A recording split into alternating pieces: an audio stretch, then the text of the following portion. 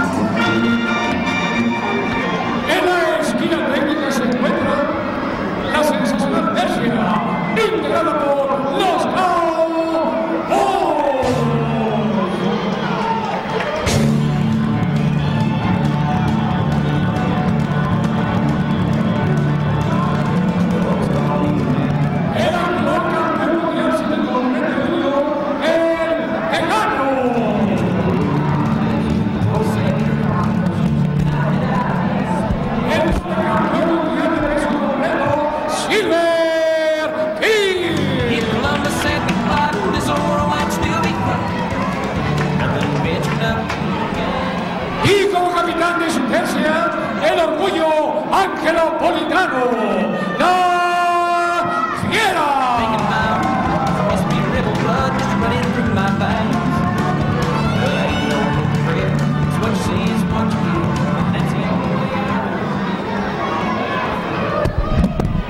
Hemos tenido una gama de música, de ritmos. Por ahí escuchamos la banda sinaloense que identifica perfectamente lo que es el eh, lugar de nacimiento de este Mochocota que está ahí en un duelo mano a mano con el Tejano y cada quien como en el baile ha agarrado a su pareja. Empezamos con la primera caída de esta lucha semiestelar y el saludo de mi amigo y compañero el doctor Alfonso Morales. Gracias, querido Leonardo Magadán, amables amigos, señoras y señores de la República Mexicana. Vean ustedes.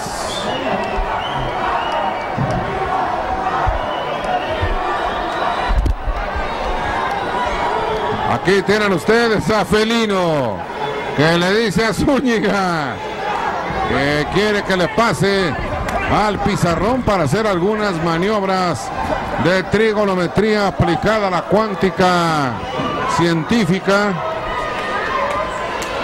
A lo que responde este felino que mejor prefiere luchar gusano. Es uno de los grandes luchadores y más rápidos de la lucha libre mexicana. Aquí tenemos también a Silver King que es sumamente rápido y sumamente ágil. A pesar del tonelaje que tiene, es una persona que tiene una flexibilidad increíble este Silver King.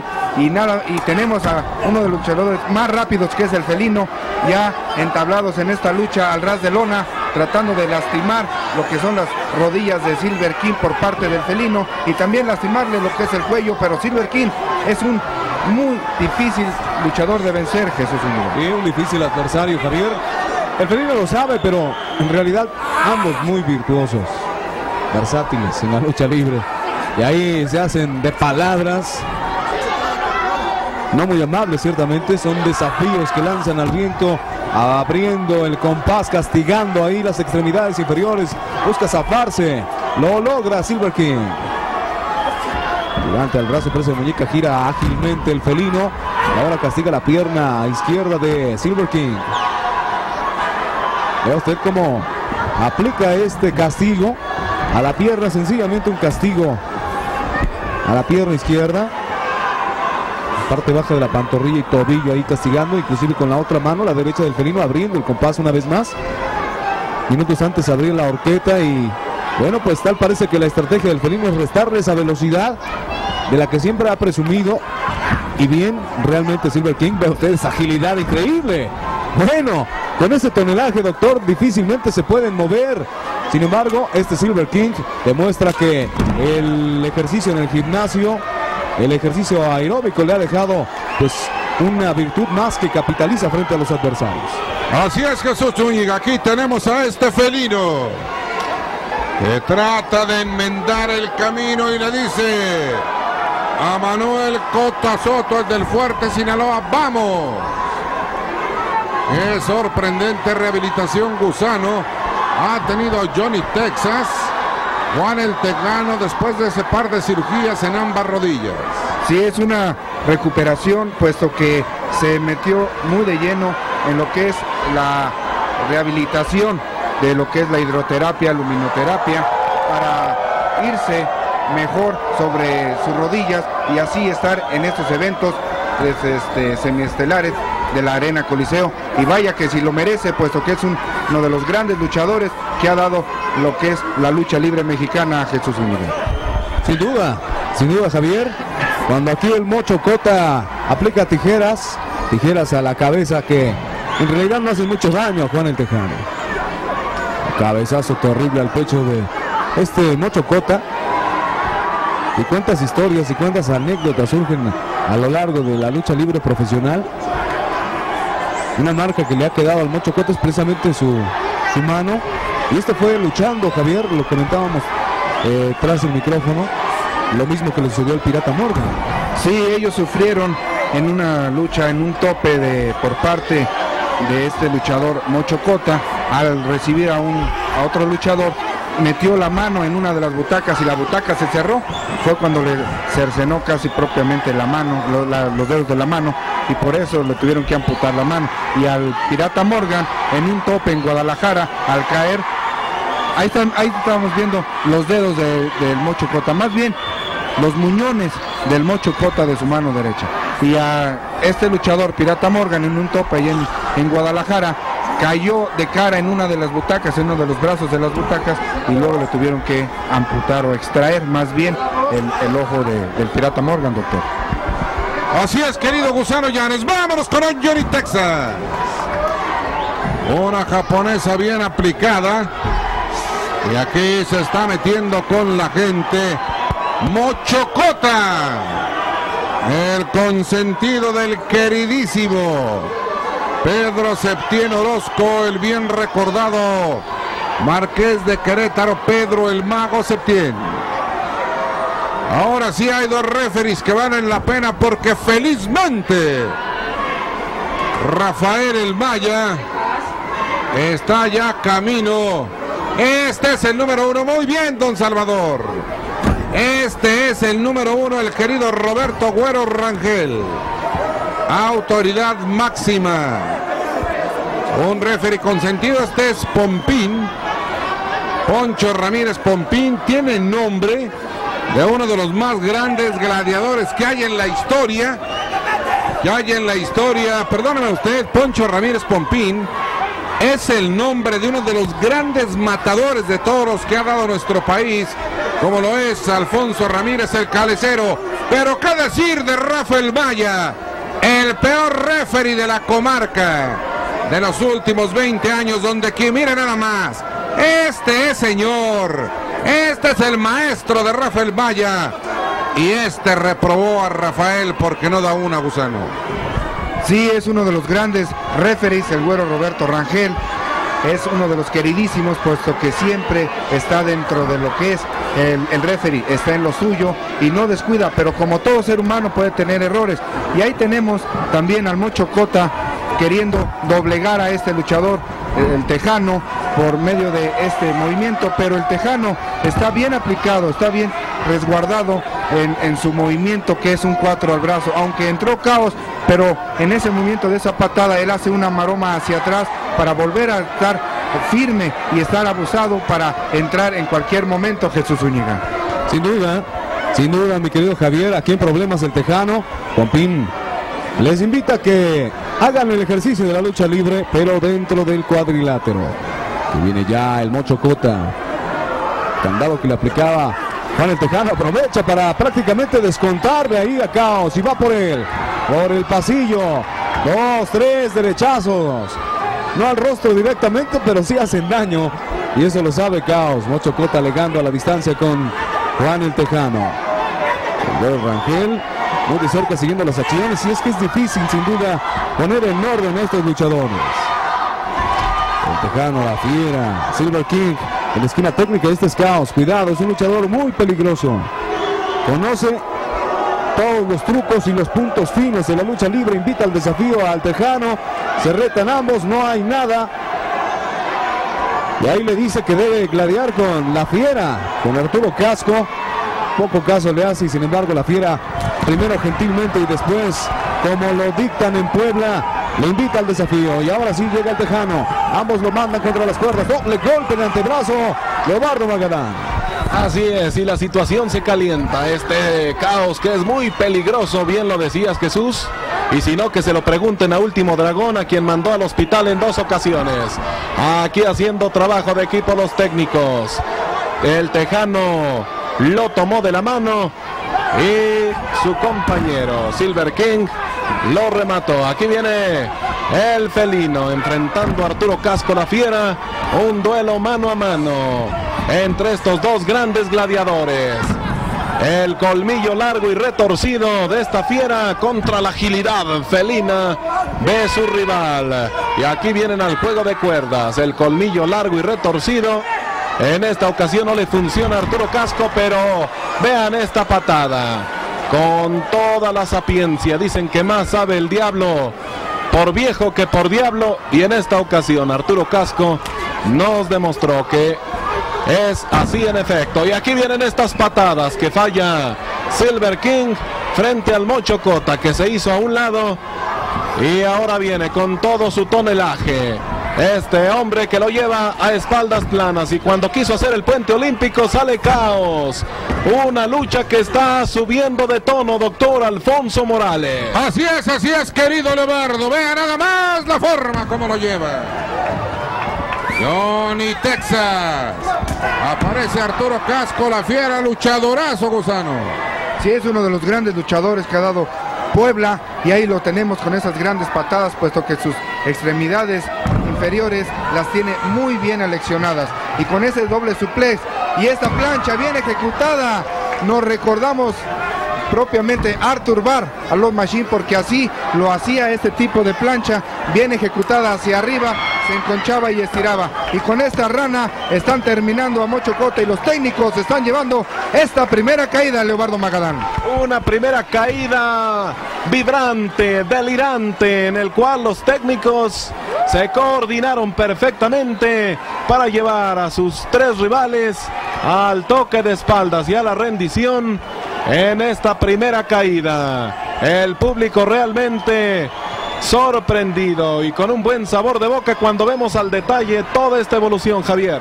es un suplex bien ejecutado por los Cowboys sobre el felino. Y ven ustedes cómo se encoge y luego se extiende este luchador la fiera para ponerle la espalda plana al felino. Y el güero Rangel al fondo estaba contando las tres de rigor. Y aquí no se iba el Mocho Cota que en esta rana cuando viene Silver King y con esta patada sí va hacia atrás y le ponen la espalda plana con esta rana y así el referee Pompín le cuenta las tres y es la primera caída para los técnicos Jesús Zúñiga.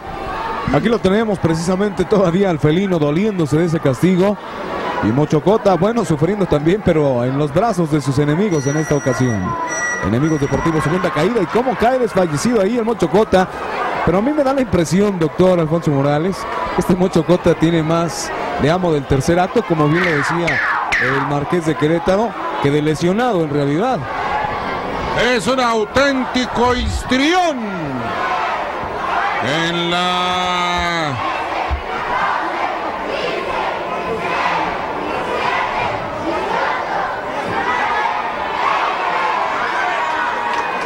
Oye, oye, oye, ya le contaron los 20.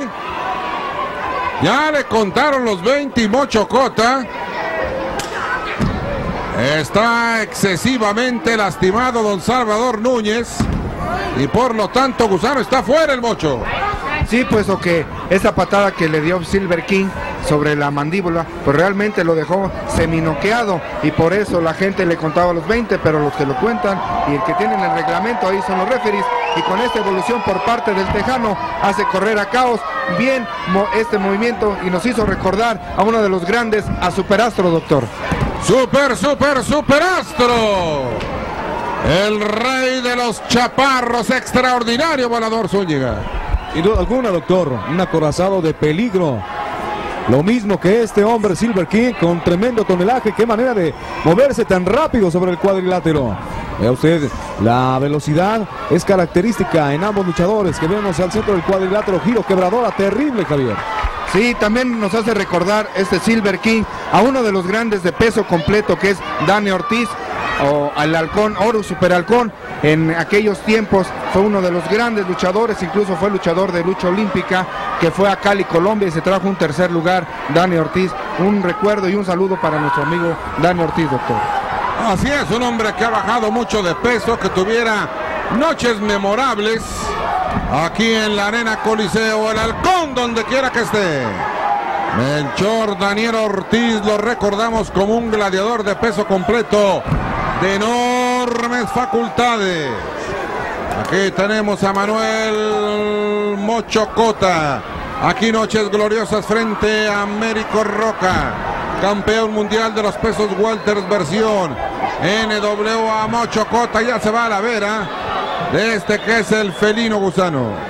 También este Mocho Cota tuvo unos grandes encuentros con el chamaco Balagués, era uno de los grandes piques en ese entonces, también con Américo Roca. Y ahí tenemos a Caos, es el capitán del bando de los rudos, haciendo morder el polvo a este tejano, puesto que el tejano es un luchador que no hay que confiarse y con esta desnucadora bien aplicada Leobardo está llevándoselo a este tejano.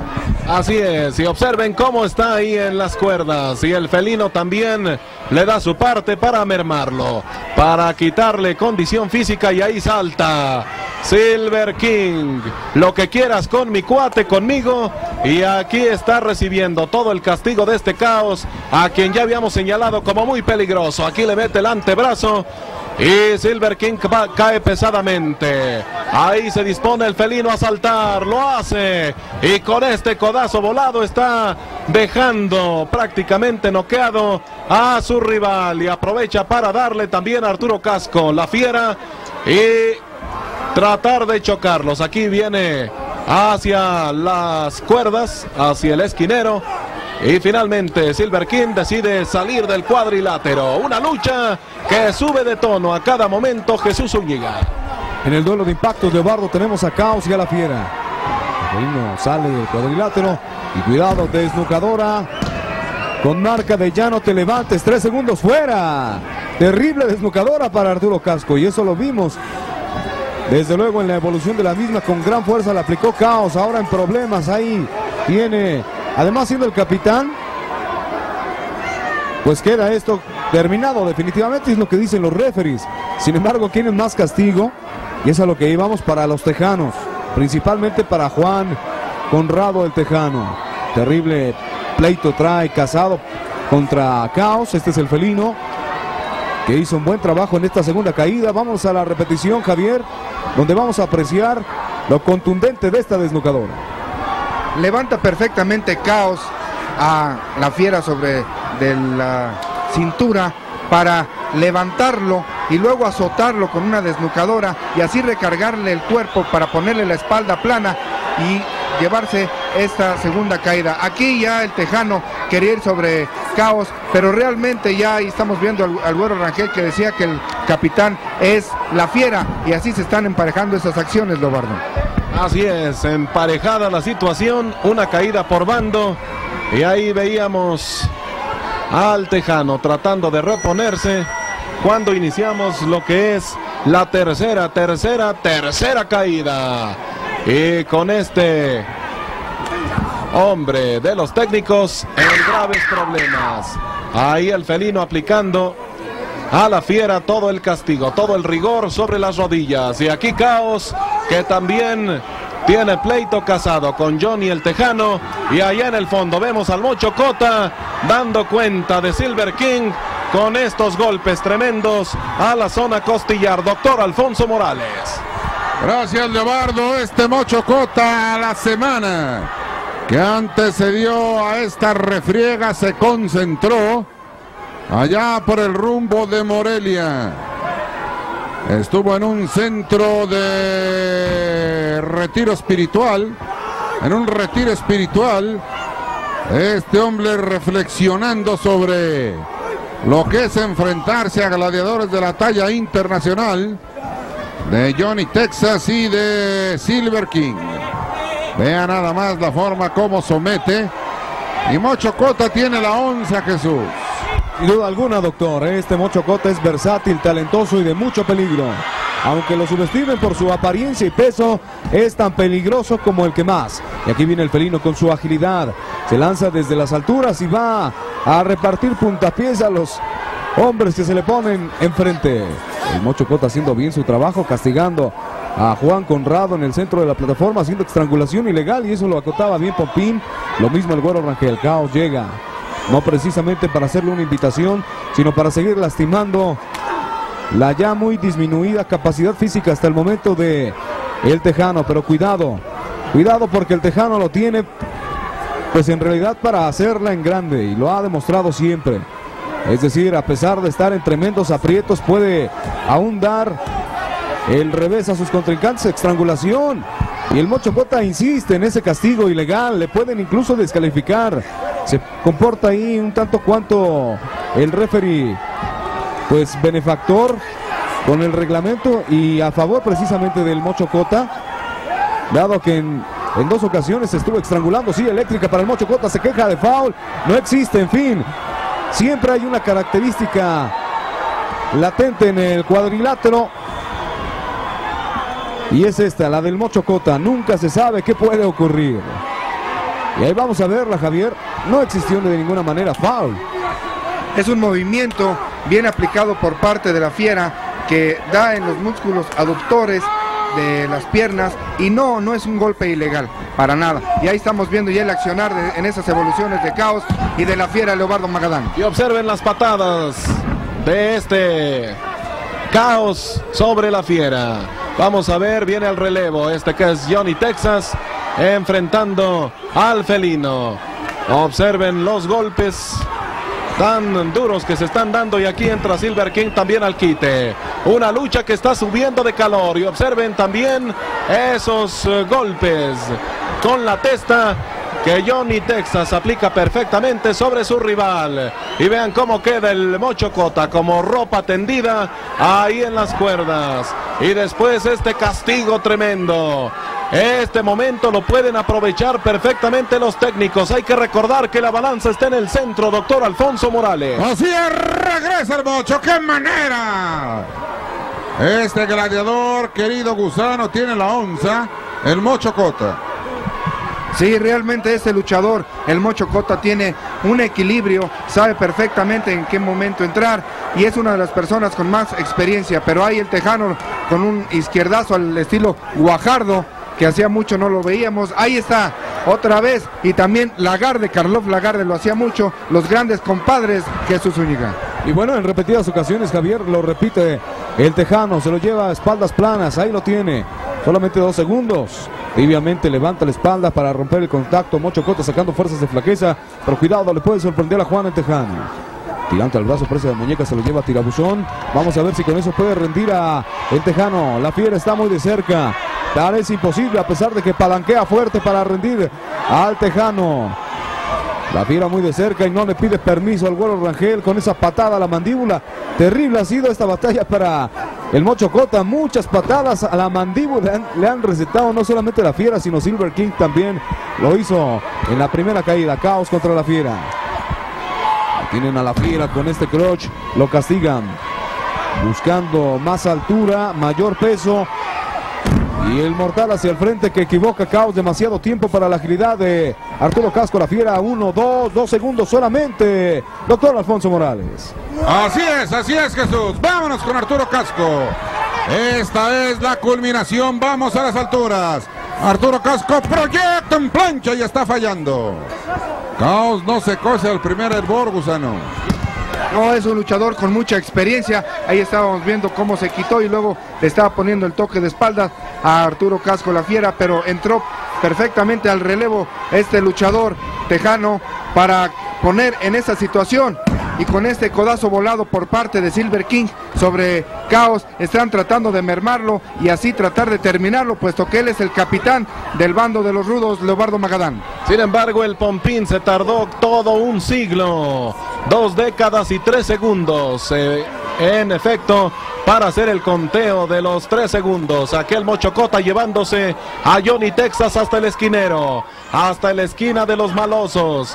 Y luego logra reaccionar el Tejano para llevarlo al toque de espaldas. Vamos a ver, logra zafarse nuevamente. Este que es el Mochocota, mucha lona recorrida. Y aquí trataba de realizarle una rana, sin embargo, logró avivarse Johnny el Tejano y aquí lo lleva nuevamente al toque de espaldas, recargando el cuerpo para que el Mochocota se rindiera. Sin embargo, no fue suficiente. Aquí tratando de efectuar nuevamente una, una rana, pero el Mochocota con mucha diestría logró mandar a su rival a un lado. Y aquí viene nuevamente con esta entrada del felino y las acciones se calientan, doctor Alfonso Morales. Así es, aquí tienen ustedes, amables amigos, en esto que es la tercera, tercera, tercera caída desde la arena Coliseo. Ay, ¿qué quiso hacer, Gusano?